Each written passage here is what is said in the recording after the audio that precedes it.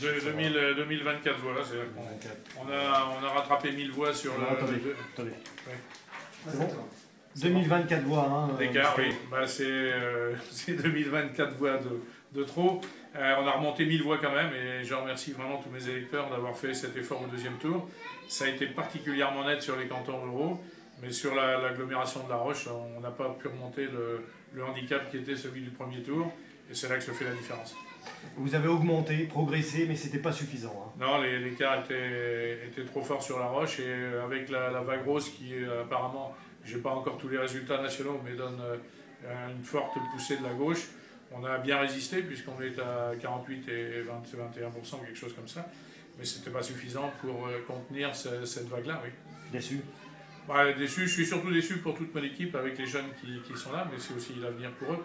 Et euh, déçu, je crois que je suis surtout déçu de, de la, de, la teneur de cette campagne. Nous, on a fait campagne pour expliquer les réalités, dire que c'était pas facile demain.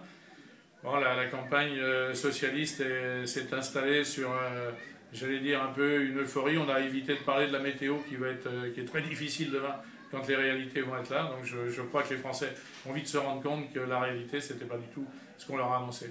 Ce matin, vous parliez hein, du- du- d'une droite un peu divisée, euh, en tout cas plus divisée qu'une gauche sur cette deuxième circonscription. Oui, mais sur, le, sur ce deuxième tour, je ne peux pas dire que ça ait de la division est jouée. On a, on a eu des bons reports de voix. Non, je crois que c'est euh, l'effet présidentiel a joué pleinement.